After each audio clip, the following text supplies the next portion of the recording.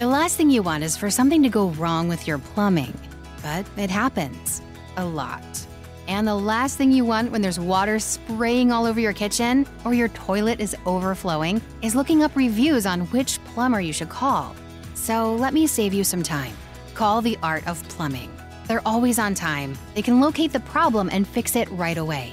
They even help with solutions to stop any future problems. Save time. Call the Art of Plumbing today. 541 951 9405. Welcome into Other People's Shoes. I, of course, am your host, Neil Matthews. I'm so excited today. I get to sit down with a fellow runner, a man that uh, was just inspired to do something that was way out of his comfort zone. What do I mean by that? Well, I guess you're going to have to stay tuned next for my guest, Mitch from Run for God. You're not going to want to miss this amazing story and an amazing man. Hope you're ready for it because here we go. Hey, come take a walk with me. Not like you used to do. Something different put yourself in other people's shoes. Open up your mind and open up your eyes and change your direction,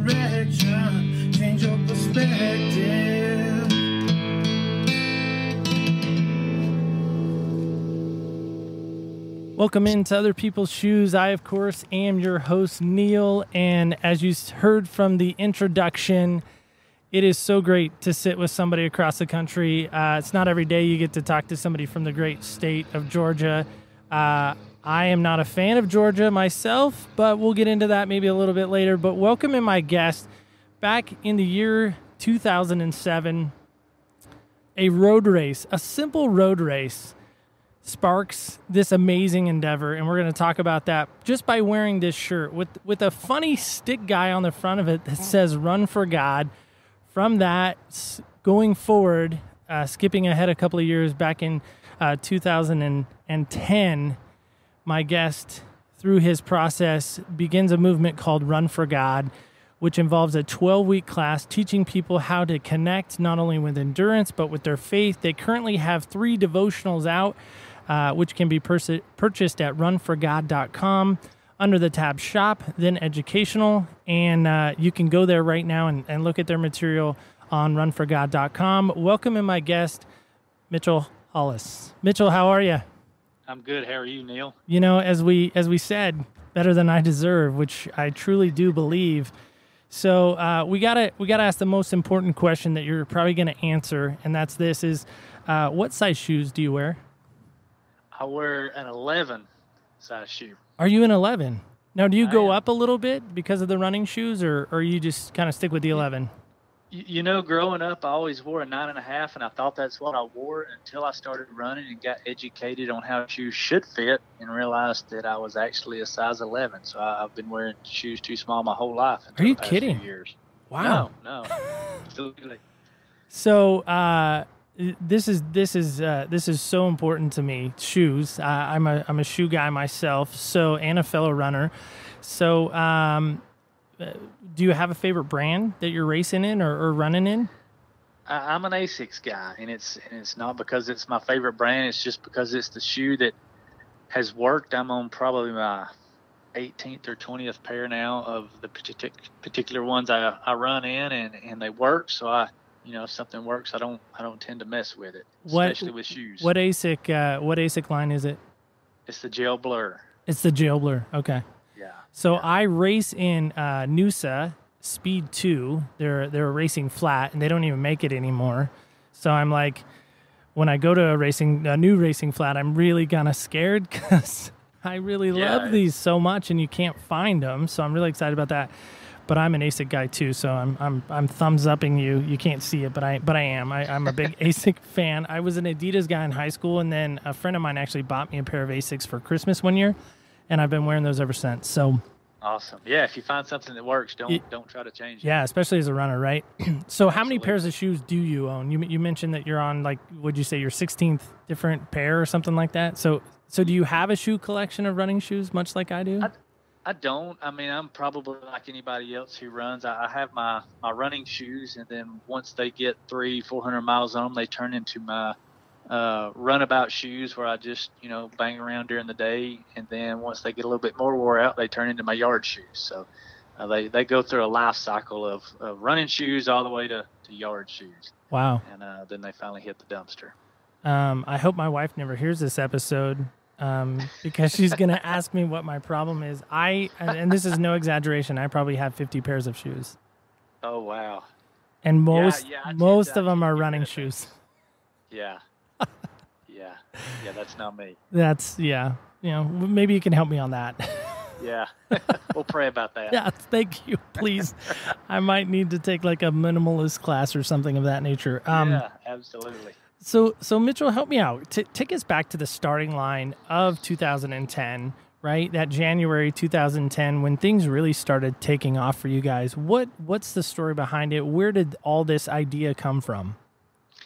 You, you know, it, you look back, and I, I always say, um, you know, people say that you should never look back. I'm, I'm of the mindset that you should. Um, you should look back to see where God had you and where He's brought you from. And uh, in the fall of 2009, it's kind of where it all started. It was in October of 2009. Um, I was at a church fellowship at our church. It was actually our homecoming. And at the time, I had been running for several years. I actually didn't start running till much later in life, and I had been running several years at the time, and and I had started getting into triathlon as well, and, and Ironman and half Ironman, and I was at this church fellowship, and I went and sat down by uh, HR Poe. HR is um, several years older than me. He actually taught me in RAs growing up in, in, a, in a former church when I was a young man. And I sat down with HR, and HR has been a lifelong runner himself. And so I sat down and I was just telling HR, you know, what all was going on in my life. I had I had just finished my first half Ironman. I had just signed up for my first Ironman, and my son Lane had actually just started into the sport. He was I think six years old at the time, and had just done his first uh, kids triathlon. And I was just basically just pouring out everything that was going on in my life to HR, and everything revolved around running and endurance sports. And, I, I thought HR would appreciate this. And um, I hadn't been talking very long, and, and HR, like I said, who is a good friend of mine, a deacon in our church, he, he looked at me with this very concerned look on his face and, and very bluntly and boldly said, Mitch, he said, don't let this become your guide and, and Neil, it just it hit me like a ton of bricks, you know, and it, it offended me at the time. Um, I was I was upset by what he said because, you know, here I was trying to to talk about something good in my life, and and here a deacon in my church was, uh, he was what I thought at the time, you know, meddling in my faith, and so I left that that um, homecoming. I went home that night and I just couldn't get what HR said out of my head. And I remember vividly the next few days, it just, I couldn't let it go. I was upset at HR. And I began to pray about it. And um, the Lord revealed to me very quickly that it, it wasn't what HR said, um, but it was the fact that God was convicting me of something that I had put between Him and I. And it was the sport of running. You know, most people think of idols as, you know, as simple as something you put on your mantle. People have these misconceptions of what an idol is, but an idol is anything that you put between you and God. And for me, in the fall of 2009, that was the sport of running. You know, if I was if I was at church, I was thinking about the run after church, and and it began to consume me. And I, I quickly realized um, through God's conviction that, that I either had to give this sport up that I love or I had to give it to God. And how, how do you give that to God? I mean, what does that really look like? You can't package the sport of running up and hand it over to God. And so I began to really struggle with, with how this was going to work. And so I decided that uh, one thing that I was not very good at doing was sharing what the Lord was doing in my life. I was very uh, private with that. You know, I've always said that it, you know, your walk with Christ is a is a um, it's a it's a it is a private, but it's something that we should be um, sharing with other people. So I decided, you know, how how could I do this? So I thought back several years, and I was sitting in church maybe around 2008. And I remember drawing a funny looking stick man on a piece of paper. And I wrote Run for God over the top of it.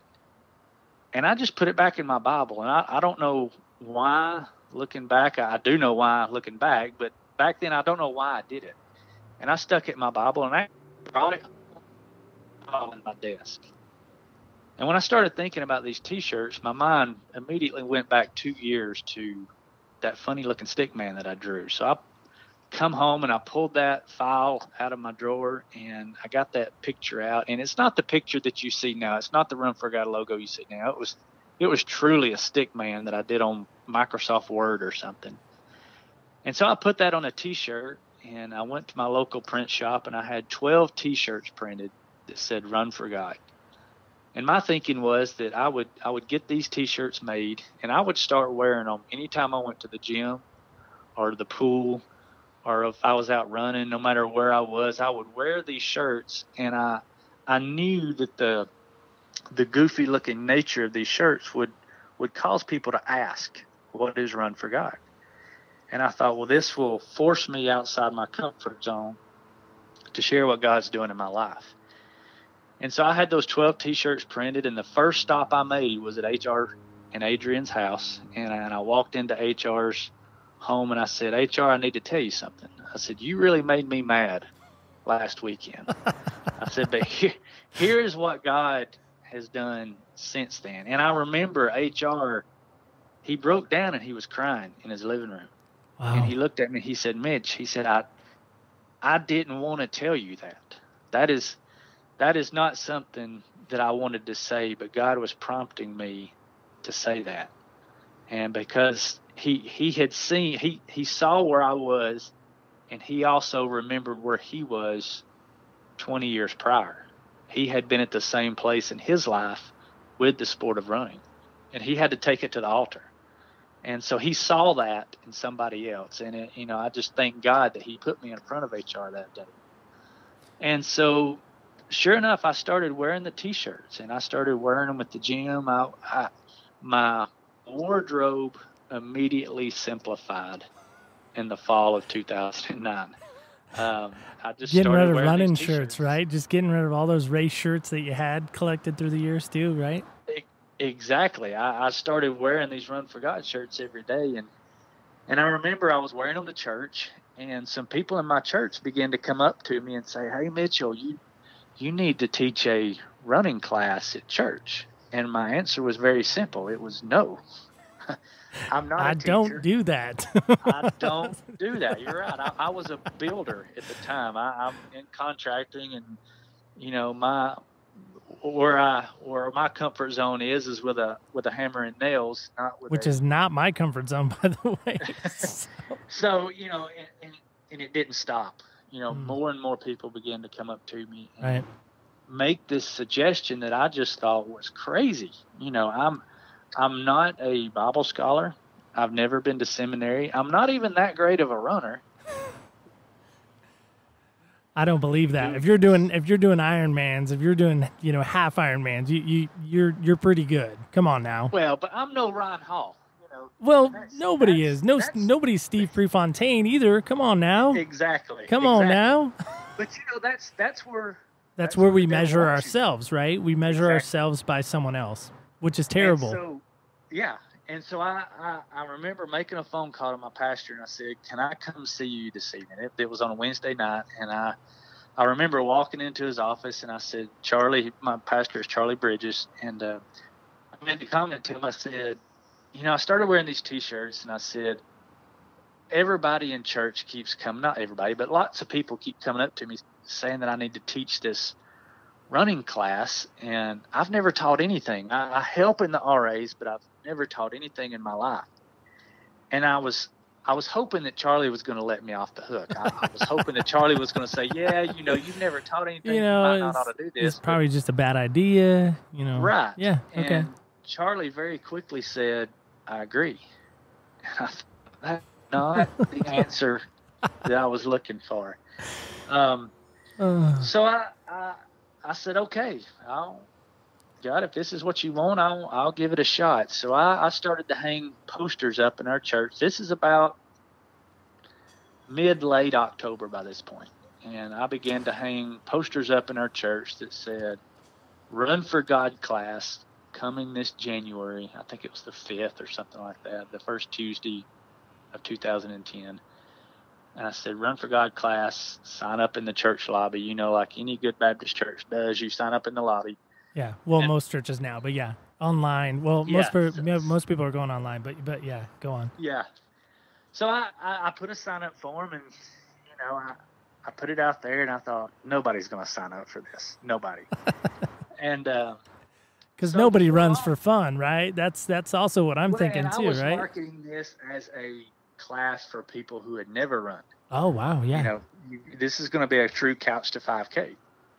okay. And so I put it out there, and lo and behold, we had 10 or 12 people sign up almost immediately. And I thought, oh, this is really going to happen. And um, so I'll never forget, it was sometime before Christmas, maybe middle December of 2009. I told my wife, I said, we probably need to go up to the to the local Bible bookstore, and we need to pick this program up because I knew, I knew Neil, there is a program for everything. And I just knew that there was going to be a program for beginning runners and how to parallel that with your walk with Christ. I just knew it was there. I knew the Run for God program was already in stores somewhere. In fact, I was I was hanging this whole class on it. And so you didn't have to I- make something or create something, right? Because you're Exactly. thinking, not only am I going to teach a class, but now I'm going to be asked to create curriculum or you know study guides or whatever. that was nowhere on my radar. Okay. I thought, in fact, Holly and I, my wife, we got in the car one cold December day evening. I think it was on a Friday night. We drove to Chattanooga, Tennessee, to the to the, the Bible bookstore up there, and I started going down the aisles, and I saw the Dave Ramseys and the Beth Moores and the Priscilla Shirers, and I thought, wow, where's Lisa? TerKeurst and yeah. yeah, I, I I just knew I was about to come to the running section, and it wasn't there. And I thought, uh, no, we've got a problem. we've got a problem now because here I have I've got people signed Are, up. are you freaking class. out at this point? Like, I- like, I like, I'm go, like, time. go with me in that. I'm gonna go with you in that night. Like, I'm, I'm staring at the shelf with you. Like, you're, are Well, you, I are you didn't freak out dumbfounded or are you just, what are you? Because I thought, well, I'll get online. There's something online. There Right. is something online for this, and so I got online and couldn't find it. And I actually um, had knew about a guy in Atlanta. He was the guy that his name was Richard Hopkins. He founded Christian Runners out of Atlanta. It's it's basically a running club, um, and it's it's basically believers who get together and they go run. So I, I thought, well, Richard will know. So I called Richard, and I said, Richard, I need some help. I'm I'm starting this class here in a couple, and it's it's a, a class that running, you know, fitness and faith. And he said, man, it's not out. He said, we've looked everywhere for something like that. He said, we would love to have it, but there is nothing out there like that. And this is where you start to have the real serious conversation. On You've put this desire in me. You've confirmed this desire with my pastor and lots of other people around me. You've had me put these sign up forms out. We've got 10 or 12 people signed up, and now you're not giving me the resources to carry through. And, and that was a that, that was my freak out point. You know, I thought I've never talked anything in my life. I do not like speaking in front of crowds. You know, if it's more than two people at the time, I just didn't talk. I, I didn't. That was not my comfort zone. And um, I remember just having a little party with God, saying, I, I don't know what I'm going to do. And so I'll never forget. I just sat down and I, I started just coming up with things. Um, what what are we going to do the first week? And so I had a plan for that first night, where I was going to basically give my testimony up until this point, and I was going to ask everybody else, "Why are you here?" And that was going to be the first night. We were going to go out and run. And so I'll never forget that first night um, in January. I, I walked into the class, and most of the people I knew, in fact, everybody I knew, it wound up being 14 people in that first class. And I stood up there petrified. I, I know that. I was terrified. But I, and, in fact, everything that I was going to say, I wrote down and I stood up there and I read it word for word. And then I looked up and I said, Now I'm going to ask the question, why are you here? And I started to go around the room. And like I said, I had I had presented this class to people to people who had never run. I didn't want a bunch of runners in this class. I wanted people who had never run.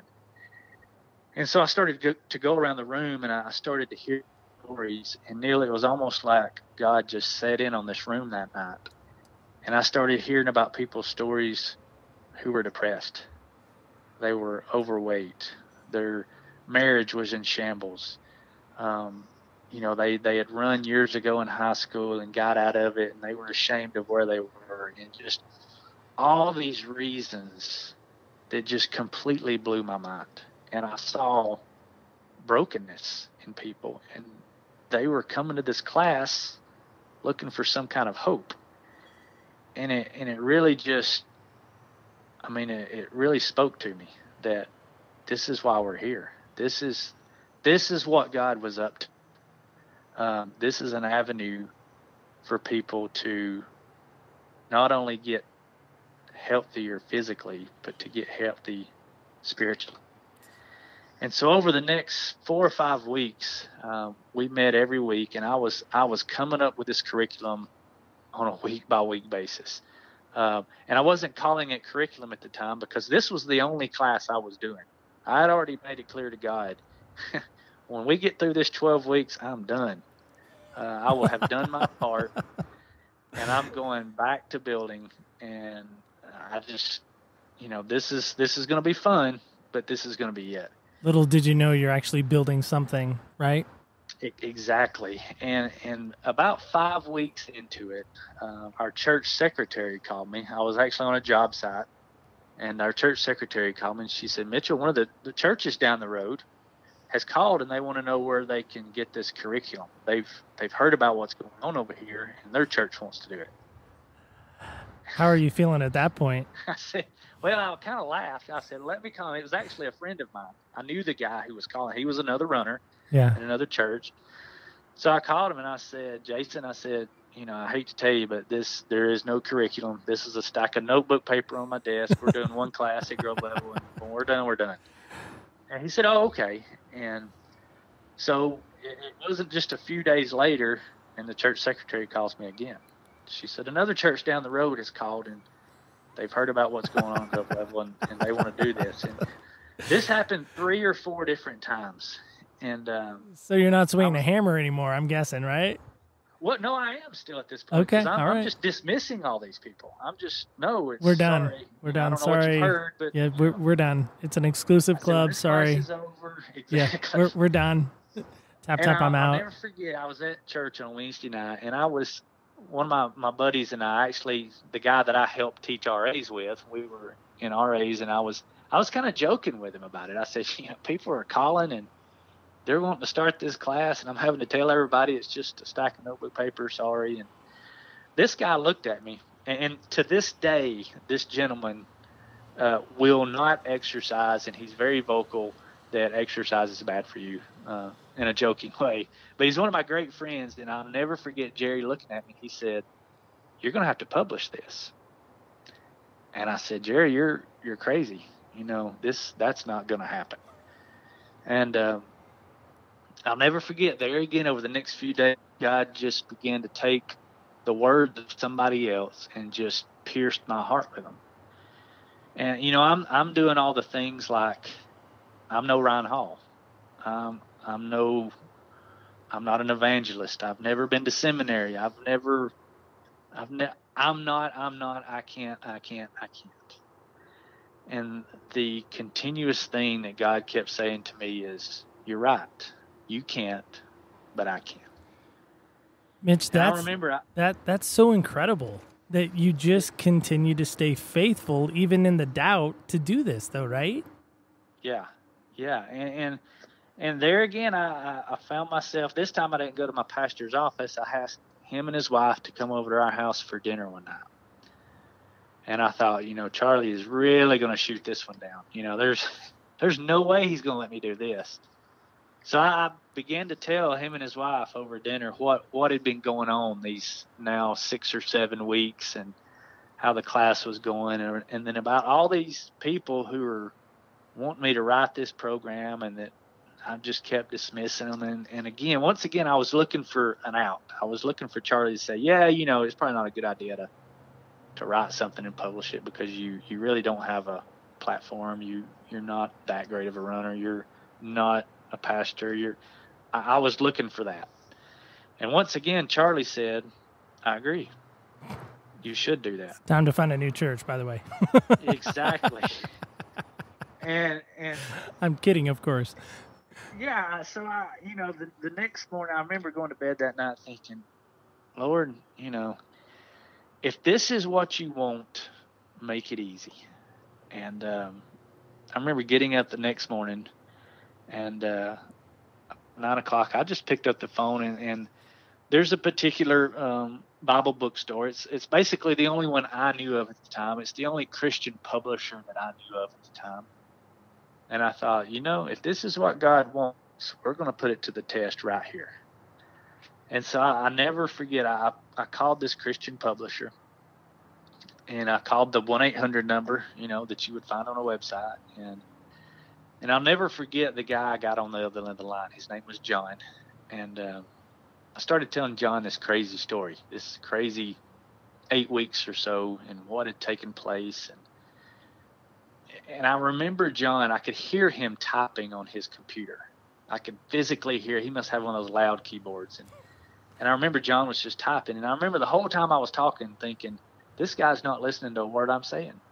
He's letting me tell my story as a courtesy, and then he's going to say at the end, you know, we're not interested, and that'll be that, and that'll be the close of this chapter. And looking back, I know now what John was doing. John was searching. John was searching for a Run for God program, the same Run for God program that I thought was already there. He Which he couldn't even find. So he began to look and search, and and, and Neil, this is if I'm lying, I'm dying, as a good friend pastor of mine would say. Within two hours, we had a book deal, Wow.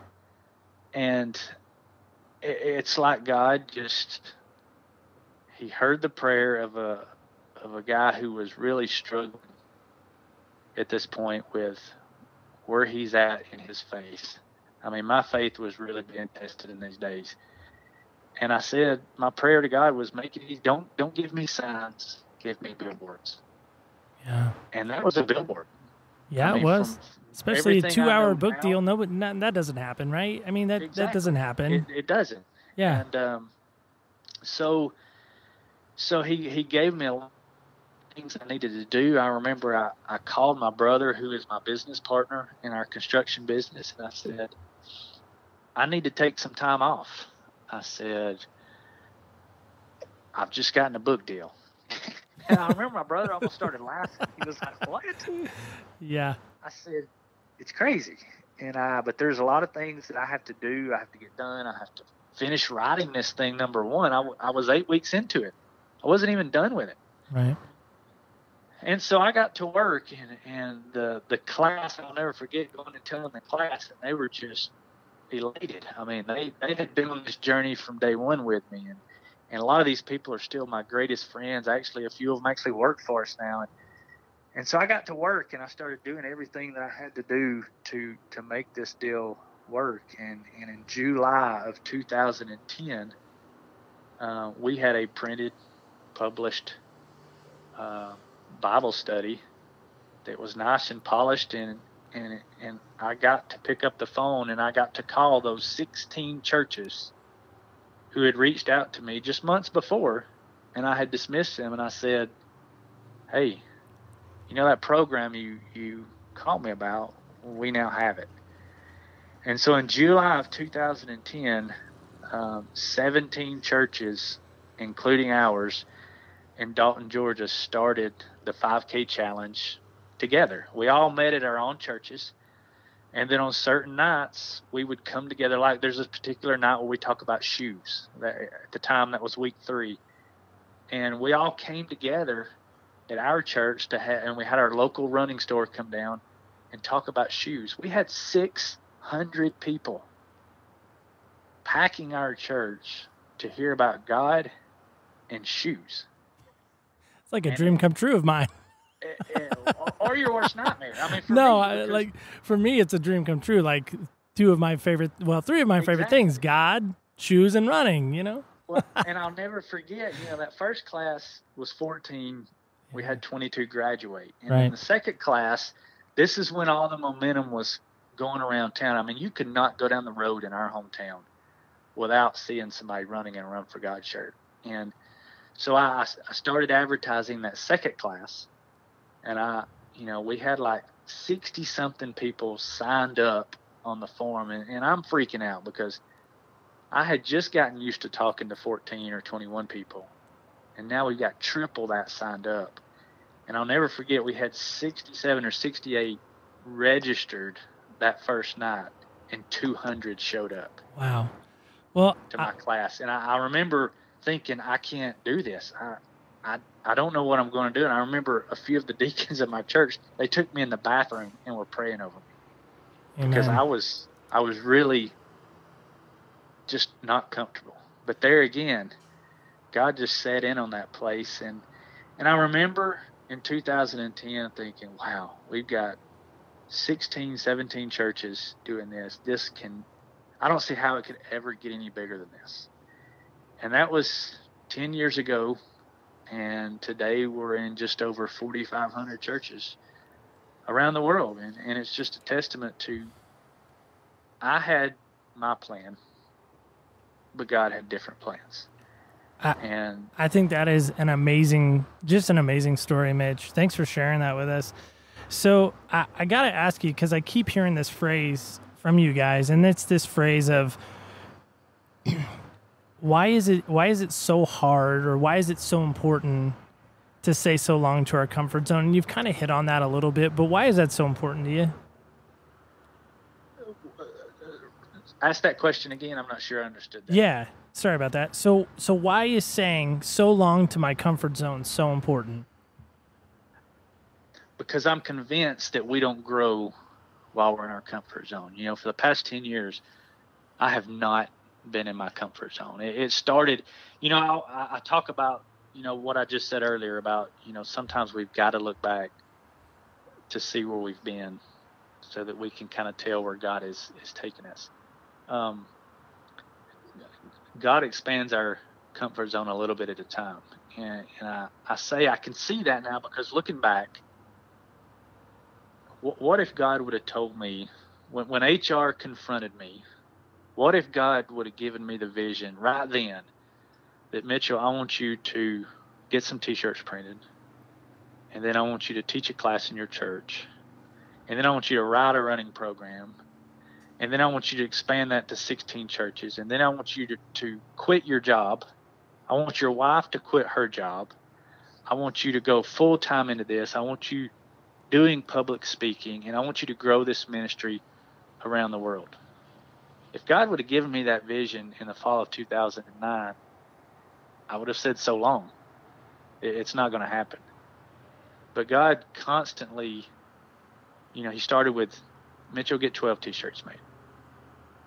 Okay, so I did that and I got comfortable. And then God gave me the next task. You know, teach teach this one class. It's just 14 people. Okay, I'll do that. You know, just make a phone call to see if something might happen with this. Okay, I did that, and and, it, and it's been that way, and it's it's it's that way all the way to today. You know, we're we're in the process. I guess by the time everybody is hearing this, we're releasing volume four of the 5K challenge. You know, just a couple years ago, we we completely rewrote the program to present the gospel. You know, when we when we initially wrote the program, as we just got done talking about, it was for 14 people at my church. There was no evangelism needed in it. It was for people in my church. But through the years, we've heard feedback from so many instructors around the country, around the world, that 20, 30, 40% of the Run for God classes at any given church are made up of 20, 30 to 40 percent people who are not churched. They're coming to learn That- how to that's run. crazy. Give that stat again. Would you mind? That last stat. Anywhere from anywhere from 20 to 40 percent of the typical Run for God class is made up of people who are unchurched. And, and I think that is so important, especially with churches. Uh, I, I'm going to give you a little background, Mitch, on, on where I, where you and I cross paths. So, um, I'm an avid runner, as I've told you, kind of in our emails pre-show. Yeah. Um, I uh, I've run to date now over 55 Ks. I'm not a I'm not a uh, I'm not a triathlete like you are, but um, I'm running a 10K, uh, you know, eh, like once a year, twice a year sometimes. But I'm a 5K runner, and my 5K Right. time is you know anywhere between you know on a great training you know uh, circle or uh, cycle, you know I'm a 26 minute 5K runner. On a bad training cycle, I'm probably about a 32. You know, so Yeah. depending on how much training I get in, right? But for me, you know, I had a very similar story that you that you had with HR and that's a guy in my church and i'm going to name him right now. His name's bob. He's our worship leader. He's also our community pastor. And bob says to me he says hey have you, have you checked out this run for god site on facebook? I'm like yeah i'll look at it. And so i kind of look it over and i'm like you know i don't know. It's not for me. It's not for our church. And he goes i really think you should you know you know, get into this and find out what it would take to do a class on this run for God thing. And I'm like, no one in church is going to come and run. Nobody wants to do that, right? Sounds familiar. right that that's why i'm so excited to tell you this story so i'm like i kind of just put it on the back burner just kind of just throw it in the you know in the we'll look at later kind of pile i know you probably have those too right so Absolutely. I then start this podcast and we're going along and things are going good and, and we're interviewing a lot of my friends, a lot of my, you know, fellow coworkers and, and things like that. And and for whatever reason, you kind of kept popping up into my mind. Not you specifically, but Run for God. And I'm like, man, who can I get on my show that's passionate about what I'm passionate about, which is running, passionate about God, which I'm passionate about, and how can I get those two worlds to kind of collide? And I thought, I wonder if they'd sit down and do an interview with me. I'm like, I don't even know who to talk to. I don't even know who to speak to. So I literally went to your site, threw out some random email that, you know, probably, you know, somehow got to you. I don't know how that works, but it got to you.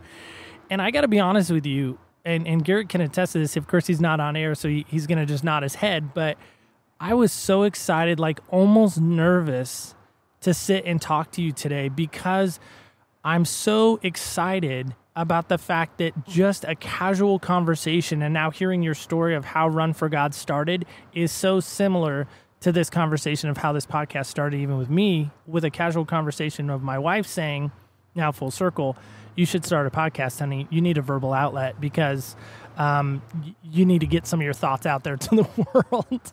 and now I think Yeah. she's regretting that. But love you, honey. But but my whole thing is is is when I when you agreed to this, I was so excited and could not wait to finally sit with you to the point because I think for so many people running is hard. And why do you think running is so hard for people? It it just takes everything that we're not designed to do to do it. The determination, the discipline, the fortitude, the the, the exact same thing that it takes to be a follower of Christ, it takes to do the sport of running, and that's that's why they parallel so well.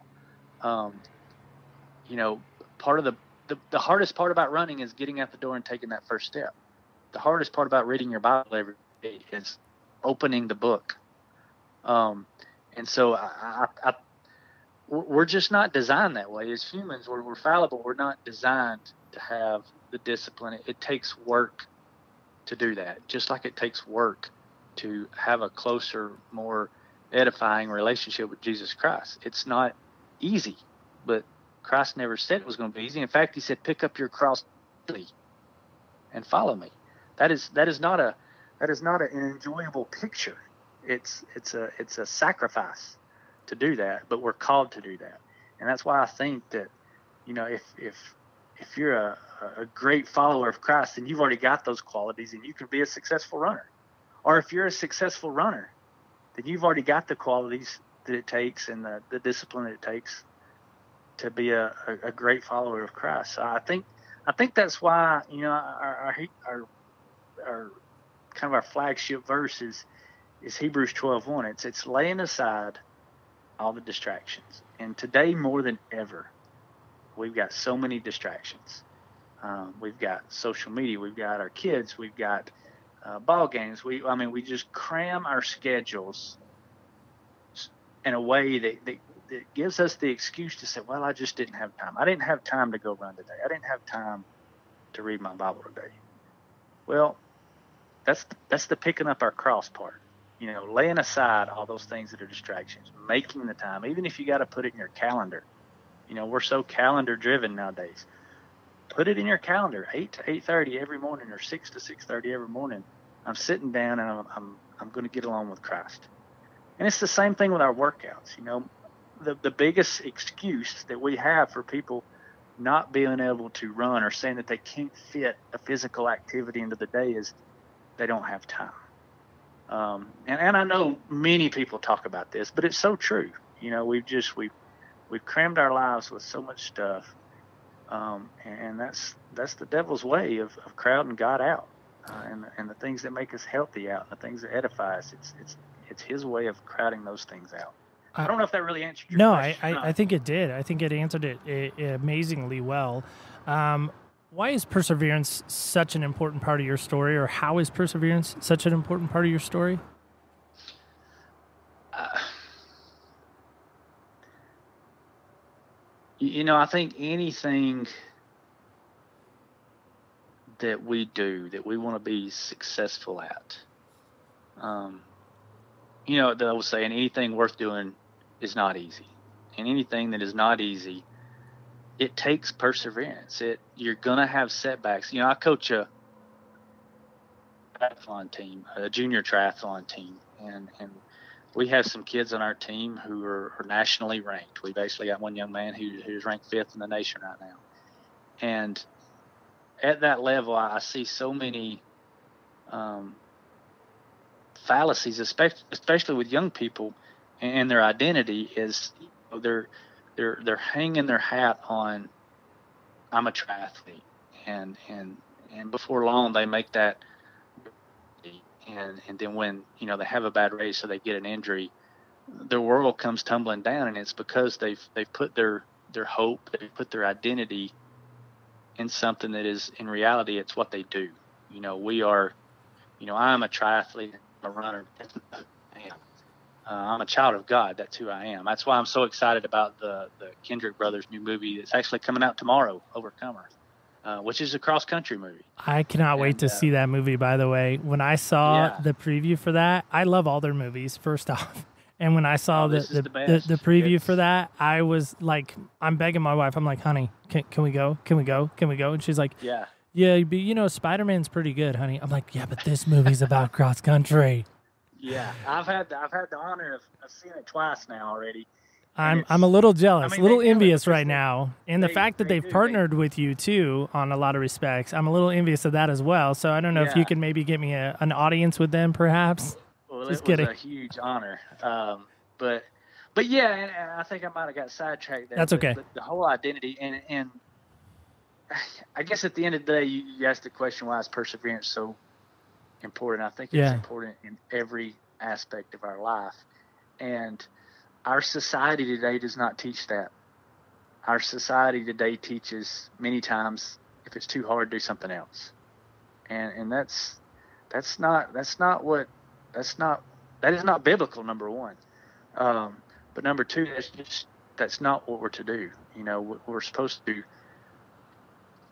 Perseverance goes to that to that quote that Jesus makes, pick up your cross daily and follow me. That that is the definition of perseverance and endurance and and getting up every day and putting on your shoes and, and going into your prayer closet, getting along with God.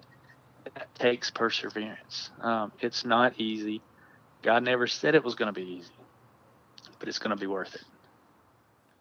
So I, I got kind of a silly question for you. Um, Are you are you a big music guy when you- when you're when you're working out or you're running? Are you a big music guy?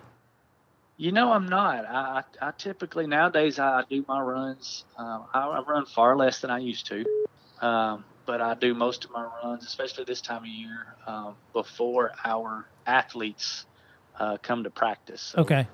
So uh, Dean and I, Dean Thompson, who who you've probably seen, he works with us. He writes some with us, and uh, Dean and I both coach coach this uh, triathlon team. We also coach coach a couple cross country teams around, and so usually I'll show up to practice and I'll I'll do my runs before them. So unfortunately, I, I'll leave this podcast right here and I'll I'll go run get my run in before they're run at four o'clock. Okay. So I'm running in the heat of the day right now. So, Yeah, you are. yeah. So I, I just was curious is is if there's any music that inspires you while you're running. That's why I was asking. So You know, I, I, I'm not a big music guy when I'm running. Um, I have listened to some some podcasts and, and there's a really like good that. one I've heard about. Yeah, that's what I hear. Uh, other people's shoes. Uh, but Thank yeah, you. I, I'm I'm not a, I'm not a big music guy. I like to, uh, you know, especially if I'm running on trails, I like to just unplug and you know, because you're you're probably like me. You're tied to a phone or a computer all day. Yes. So I like to kind of get technology free Mm, and just and just go out and enjoy myself and you know it, it a lot of times it turns into prayer time yeah. um, you can really you can really do some great praying while you're running and a lot of times it's god get me through this Yes. Amen. to 95 that. degrees in north georgia right now and 100% humidity why That's am i hot. out here Why am I out here? Yeah. We don't get that hot here in Oregon, uh, Yeah. thankfully. So, yeah um, well, Mitch, I want to kind of, I want to kind of uh, pick your brain a little bit here, if you can. Um, this quote, I know it, it kind of means something to you, and I, I just want to kind of get your your further thoughts on it. It's uh, whether you think you can or you think you can't, you're probably right. Why does that resonate so much with you? we use that quote and, I, and i've heard that quote attributed to several different people i don't know who actually made that quote i've seen several names attached to it but we we use that quote a lot because um, with endurance sports and, and running falls into endurance sports uh, half or more is mental and if if you walk up to a line if you if you're if if, if you're going to a 5K and, and you've kind of hung that goal of, let's say, 26 minutes. You're going to run this 5K 26 minutes. And you've kind of had that on your mirror written for two months and you've been training for it. And you step up to the line. And for whatever reason, you say that day, I can't. I don't, I don't think I can do that. Then it's a very good chance that you're not going to be able to do that. Um, but if you step up to that line and you say, I can do this, then there's a very good chance that you are going to do it. Now, within reason. Uh, but we tell our kids this all the time because, you know, young people especially, they're so wired that they, they'll come into a practice, you know, having been to school or, or whatever the, the day may have held before they get to practice. And you can just see their attitude. Or, or I've been in, in Run for God classes where I know that we're going to be running after, and I can see in these adults' faces that they've had a hard day at work. They're just tired and and the mental side of things is, is so big in our sport. Um, and that quote is right. I think Bobby Bowden's the one that I've heard say it or heard it attributed to the most. And and whether you think you can or whether you think you can't, you're probably right. It's, it's basically just saying what it just says. If you think you can't do something, it's a very good chance you're not going to be able to do it. But if if you think you can, then you've got half the battle fought because half the battle of endurance sports is in your mind. You know, you've always you've always heard that a you know the halfway point or the mile 20 of a marathon is the halfway point. Well, they're they're saying that not because of the physical aspect. They're saying that because of the mental aspect. Mile 20 is when you start to hit the wall. That's when your glycogens and your sodium and everything starts to run out, and you start seeing triple of everything, and and your mind starts to tell you, I can't do this. I'm 20 miles in. I I can't do this. And a lot of people, they'll stop and walk. The 20 mile point is when you see so many people in a marathon stop and walk. And it's not because they can't physically do it, it's because their mind has won the battle and said, I can't do this. And if you can if you can train your mind, we talk to our young people so much about training the mind. You know, the, the only way to, to know how far you can go is to go far. You know, we, we work with our kids on pushing them to a breaking point. And I don't mean physically breaking, but to a breaking point so they know where that line is. And then they can train to, to move that line further and further. So, yeah, I mean, we do use that quote a lot because in, in our in our sport, um, the mental side is half the battle. I think that's great. Uh, we had a coach when I was running. I ran two years of cross country, and then three years of track in high school. I wasn't good enough to go on to collegiates, but that's okay. No, no, yeah. no, no regret there. But uh, we had a coach that if you walked during a workout, you did the workout again because there was no walking. There just yeah. wasn't. Yeah. And so we would do mile repeats. And if he caught you walking, you know, like I said, you had, you had to do it again. So as a runner now, you know, as an adult runner post high school, if I walk in a race, like I'm defeated. Like I'm just like, I, I can't even like look at my wife or anyone in the face afterwards. They're like, how was the race? I'm like, I walked. They're like, "Why'd you walk?" Don't I'm like, me. "I didn't train. I didn't train really well." But I think that's so important that training really does go into so much of, of, of racing. But even if you're not a competitive runner, training in general, when things are hard, pushing through, I mean, those are those are lessons that that can only really be learned when you're out running, in my opinion. And and I think you'd you'd agree with that. Well, it's funny. It's funny you use that quote because I just flipped open to our 5K challenge find because I knew that quote was in this book. It's actually in week eight, and the reason I put that in week eight, week eight is is and actually it's attributed to Henry Ford in here uh, on week eight. But week eight is where our program goes from walking slash running to running. Now let me give you week seven's workout. Week seven is uh, you jog five minutes, you walk three, you jog five, you walk three, and you jog five. So you've you've jogged or ran for 15 minutes with a few short walking breaks. Week eight is a big week uh, in our class. It's where we, we rally everybody together. We get people out cheering for these people because week eight, all the walking breaks are gone. Yeah. And you go out and you, you do a five minute warm up walk and you run for 20 minutes. Wow. Now, I'll, I'll, I'll tell you the comments that I get every time I've taught this class on the night, the first night of week eight the comment is, I can't run for 20 minutes. Just last week, we were only running for five minutes. Well, well, think about what they're saying there. Think about what they're doing in themselves, number one. Week seven, yes, they ran for five minute segments. They ran for 15 minutes the week before. Right. All we're asking them to do is to go 20. And so, week eight, we really talk about this quote you know if you're if you're sitting in here and you're having a pity party and you're saying i can't do it then you're probably right. But i know that you can. I know physiologically we've done this enough that your body can do this. Your body will respond to this and it will make it happen so long as your mind don't get in the way. Yeah. and week eight is so cool because these people who've come into this class from all different backgrounds. Everybody's why is different. They they they finish that 20 minute run and they're in tears because yes, they've broken through something physically, but more importantly, they've broken through something mentally. Absolutely. They came into that class saying, "I cannot do this," and that's why we encourage the instructors to. This is where you bring in your runners and your families you know, you got people out there with posters. This is almost as big as their first 5K. Wow. Because this is such a milestone, and and it's it's that's why we have that quote in week eight is because if you can win the battle in your mind, you can do so much physically. I think that's such a valuable takeaway. You know, if you could win the battle in your mind, you can do so much more physically. That that's powerful to me. So, so uh, Mitch, I want to close, give you one last opportunity to really talk about this this new curriculum that's coming out. How can people get excited about it and get behind it?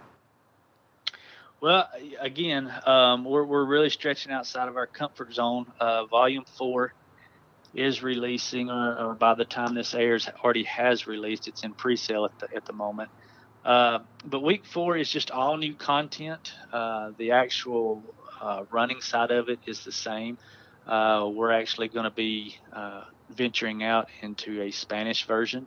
we're we're in the process of rewriting a 10k to marathon challenge as well as a 5k challenge for kids. Um, so so we're really making a, a, push. Like I said, we're in a little over 4,500 churches at this point, but God is really laid it on our hearts that um, this program is solid. It, it is bringing. We've had hundreds of people come to know Christ through this program, um, which is just incredible. Uh, that God can speak to people through the pages of a running program and, and bring them to the foot of the cross. And it is because we clearly present the gospel in chapter 10 of the 5K challenge.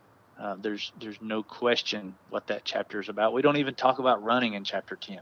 It's all about the gospel um, because we do have those 20 to 40 percent of people who are in church. So so we're really making an effort this fall uh, to to take this ministry to a much bigger platform. We feel that God has has brought us to this point. He's prepared us.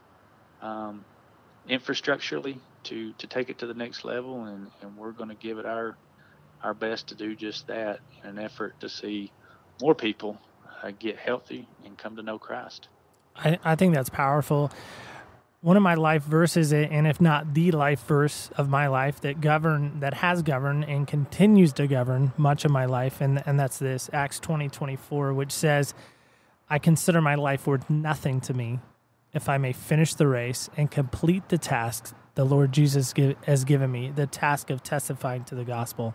And I think you guys are, are totally doing that, obviously, in what you're doing and, and those efforts. And man, I am just, as I said, I was so nervous and thrilled and excited, all of these emotions wrapped up into one box all at the same time to talk to you. And I know you're just a dude just like me that just loves Absolutely. running and loves Jesus and loves your wife and loves your kids. I know that. But but at the end of the day, to to give you an opportunity and to kind of cross platforms between your platform and my platform to really share what God's doing in your life, man. I I'm I'm I'm just appreciative of that. So thank you so much for for what you've given us today. We do play a game at the end of my show, so we'll kind of wrap up with with just this idea mentioned, and I just want to give you again one last opportunity. Why should someone do a class for Run for God in their church if they're not already? Why should they do it? Yeah, if you're if you're where I was ten years ago, I was I was a run, I was a follower of Christ. I was looking for my mission field, even though I didn't know it at the time. Um, there there are roughly 60 million runners in this country, and that's a that's a big mission field. So if if you're out there today and you're listening to this, and you're a, you're a follower of Jesus Christ, and you're a runner, you are the perfect instructor. And I, I think that's great.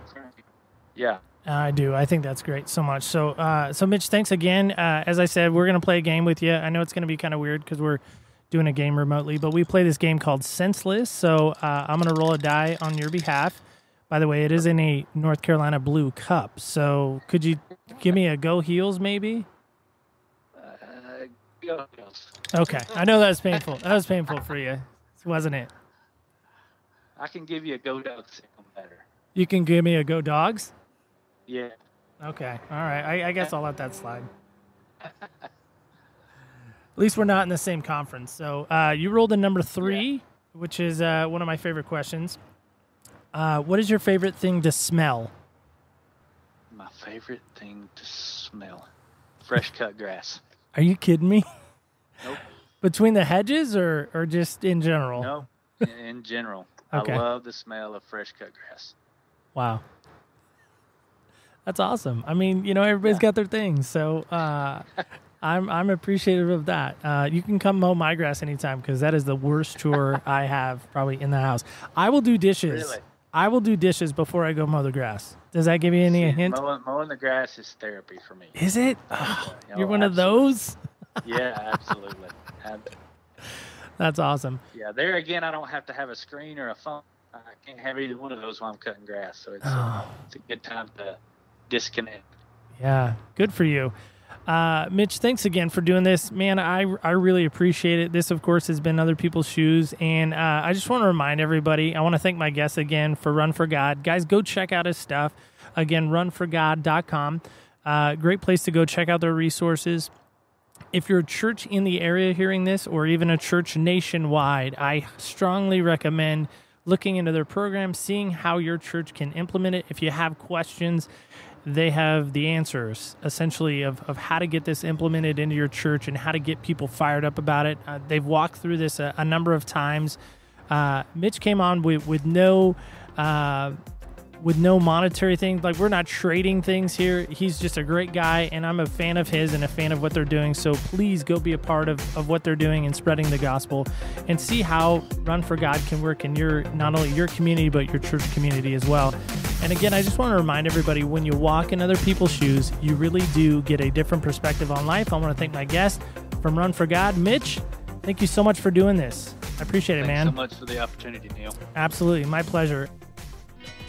Thank you so much for joining us on Other People's Shoes. I don't know about you, but today's takeaway was pretty impactful. The idea of Mitch describing the 20 minute run was fascinating to me. I just, I gotta be honest. I know some of you out there are like 20 minutes. Are you kidding me, Neil? I could never do that. Just an idea for you. Maybe take the Run for God course and see if you can push yourself past that comfort zone in this next year. Maybe make that your goal. Just an idea for you. Hey, we're doing a giveaway this October and we want you to be a part of it. So here's Tracy Maxfield to tell you a little bit about her book. Hi, I'm Tracy Maxfield, and I was on podcast Other People's Shoes a couple of weeks ago talking about depression and my journey from the rabbit hole. In fact, I wrote a book, Escaping the Rabbit Hole My Journey Through Depression. I have given a signed copy of my book that they can give away. I hope you enjoy my book. That's right, we are giving away a book. So if you'd like to be a part of that, of course, like us over on Facebook and comment down below why you'd like to get your one copy of this book. Of course, you can also follow us on Instagram for an entry, hashtag escaping the rabbit hole. You can do the same thing on Twitter, hashtag escaping the rabbit hole at people's shoes. So there you go. There's some entries. And of course, a fourth entry, if you'd like, you can give us a rating on iTunes. So, next week, we're going to have a president on and another fellow runner. So, two pairs of shoes at the same time. Yet again, we do like to do that every now and then. So, hopefully, you can stay tuned next Wednesday for that. What? We're going to have our president on? Do I need to dress up? Oh my gosh, I got to go get ready. Can't wait till next Wednesday. Hopefully, I'll be ready, and I know you will be as well. Join us next week on Other People's Shoes. Thank you so much.